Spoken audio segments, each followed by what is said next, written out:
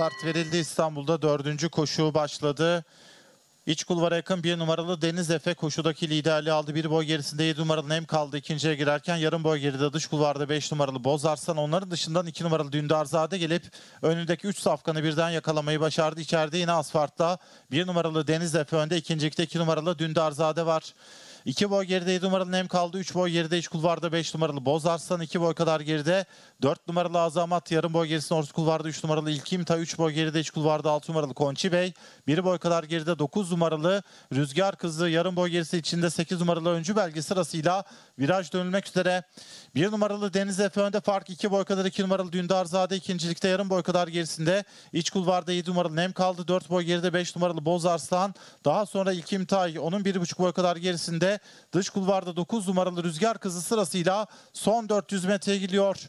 1 numaralı Deniz Efe farkı 4-5 boya kadar çıkardı orta kulvarda. 7 numaralı Nem kaldı ikincilikte 1 boy kadar geride içeride. Bozarslan onun 2,5 boy kadar gerisinde.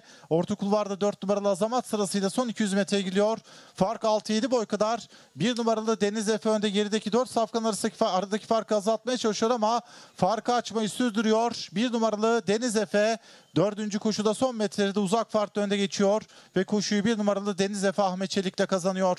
5 numaralı Bozarslan ikinci, 7 numaralı Hem kaldı üçüncü, 8 numaralı Öncü Belgi dördüncü, 4 numaralı Azamat da beşinci oldu.